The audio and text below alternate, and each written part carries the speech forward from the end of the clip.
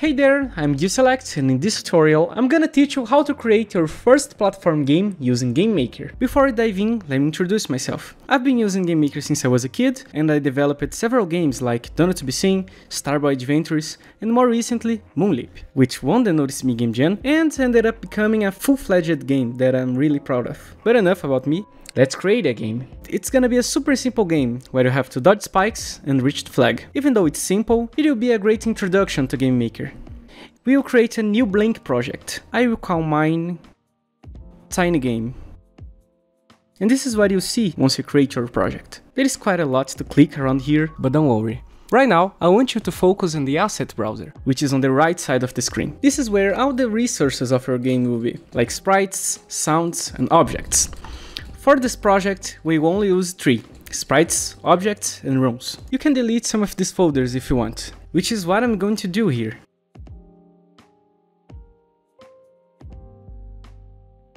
First, let's talk about sprites, which are basically the images in your game. They represent your character, enemies, items, and even the background. Now, Objects. Here we're talking about code. This is where you decide what happens when the character touches an enemy, picks up an item, advances to the next level, and so on. Speaking of levels, in rooms, you place the objects of your level, like the ground for your character to walk on, where enemies and items will be, and everything else. But right now, let's work on the sprites. There are several ways to create an asset, but right now, I will click on the empty space, go to Assets, and select Create Sprite. It will show up here and I will name it S-Player. You can name it whatever you want, but I usually go with S-Player for the player sprite. You can create your sprite here, and I recommend that you create your own, but for this video, I already prepared mine. I'm going to click import and import my sprites into the game.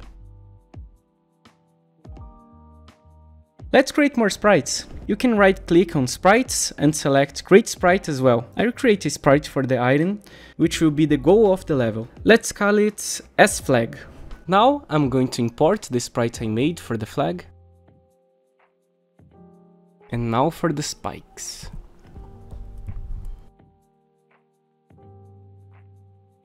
And for the ground sprite.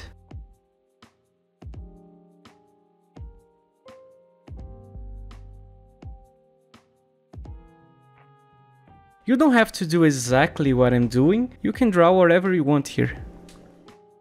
To work on an asset, just double click it. That goes for all the assets in the game. Before we move on to objects, you might have noticed the origin point here set to 00, and that means the origin point of your sprite is on the top left corner. We'll change that. We'll create one object for each sprite we made. Let's click Create Object. Let's name this one OPlayer and put a sprite on that object.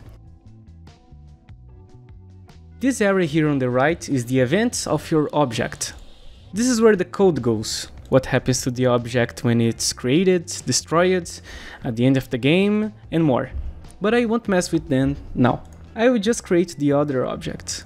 We'll create an object for the ground, O solid, and assign the ground sprite to it. I do the same for O flag and O spike.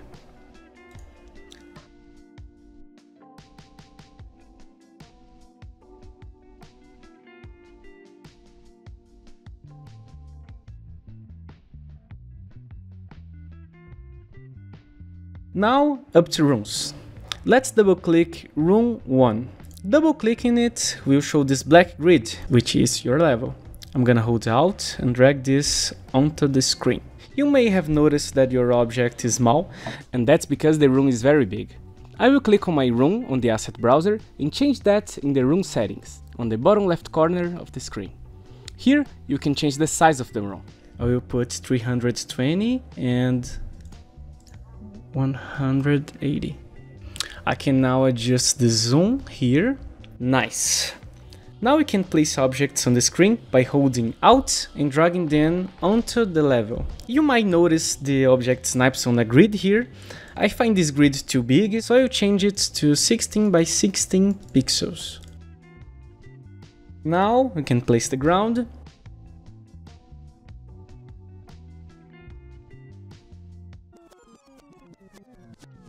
Some spikes here, a little flag here, And nice. Now we can hit play. And yeah, everything's tiny and we can do anything. Let's fix that by writing some code. We'll go to the workspace, which we can navigate using the middle mouse button. For the programming part of this game, I will use GML code. So let's add and create event. The code inside create will happen as soon as this object is created, which in your case is when the game is opened. If a window pops up on your screen asking if you want to use GML code or GML visual, choose GML code we won't be using the visual language of GameMaker. So, let's dive in. We'll write a function to increase the size of the game window. It's a function called window set size. And here we will type in the horizontal and the vertical size we want. I want the game window to be 720p. This function is built into GameMaker and if you don't know how it works, just click it with the middle mouse button. I will also create two variables here, one for the horizontal speed and one for the vertical speed. I will set both to zero. A variable is something we can name and use to store a value for later use. For example, I could create a variable called coins to store the number of coins the character collects, or a health variable to count the character's health. So let's work on the character's movement. Here I will add an step event, which is an event that, unlike create, happens every frame of the game. This is where we'll put the player's movement code. So, let's go! If I press the left key, I want to move one pixel to the left. If I press the right key, it moves one pixel to the right. So, I write if keyboard check vk left.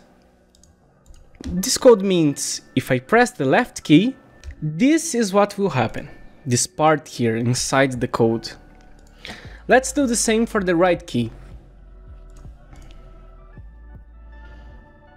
Okay, let's write something inside this space here. I write xsp equals minus 1 for left and xsp equals plus 1 for right. You might be thinking, why xsp? Why ysp? This is because they represent the speed of the x and y coordinates of this object. Every time I press left, I decrease x, every time I press right, I increase x, and so on. Notice that if you go to the room and double click on the character, you see it has these x and y values, which are its coordinates. If I leave this object here, the x will be 0 and the y will be 0. If I move it down, the y increases. If I move it right, x goes up if I move it left, x goes down. The level is like a Cartesian plane, and in the code, we manipulate the coordinates to make the character move. But let's go back to the code, because as it is, we can do nothing. To make it move and collide with the ground, we have the function move and collide. xsp, ysp, o solid, which is the ground.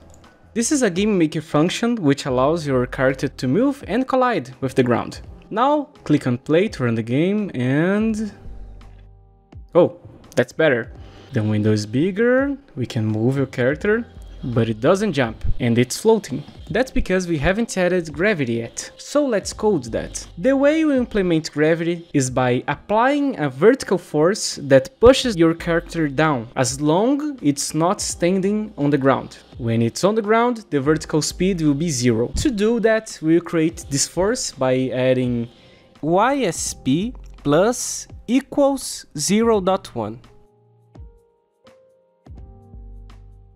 I also wrote xsp equals 0 here, because when the player isn't pressing left or right, I want them to remain still. But not just that, we need to check if the character is on the ground, because it should only be able to jump when it's touching the ground. GameMaker is a function for that. So you write if place meeting x, y plus 1 o solid inside your code.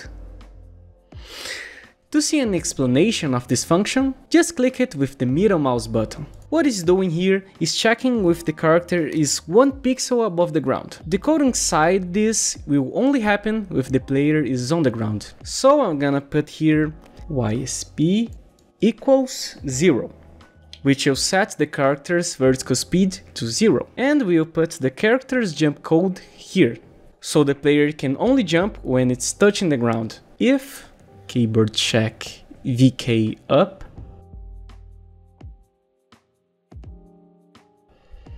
YSP equals minus 2.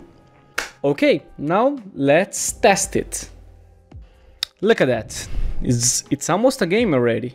We just need to make the player die and advance to the next level. So let's set up some collisions. You already know that place meeting checks for collisions. So let's write some collision codes for the flag and the spike.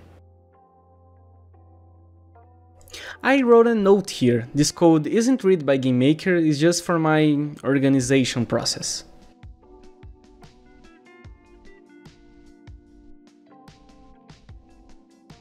So let's go! Inside the collision with the flag, I will write a code to move to the next level. It's a code that goes to the next room on the list, and its name is room goto next. And here, for the spike, I will reset the room with room restart. Room restart. If we hit play now, you see everything is working fine. We can move around and I die. Nice. Everything is working great, but when we reach the end, the game crashes. That's because we haven't made a next level yet. Before making the next level, the game still looks a bit ugly. So I will create a sprite for the background.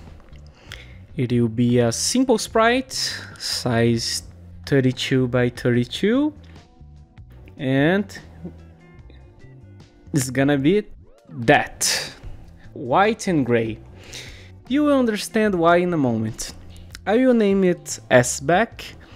I will click on the room Let's go to the layers and choose the background layer. Clicking here on the background, I will select a sprite. I will make it repeat horizontally and vertically. And here you can change the color of the sprite. I will click color and pick a nice one. Down here there are filters and effects which are ready-made effects you can apply to your layer. And you know, just to make a bit prettier, I will add the underwater effect. Why not? It looks quite nice. Feel free to play around and let's test it. Nice.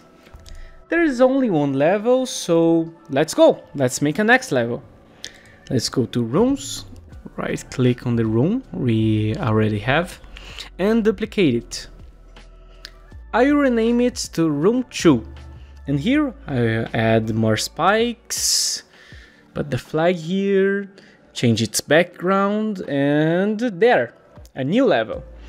I'll create a few more so we can have a proper game, and I will be right back.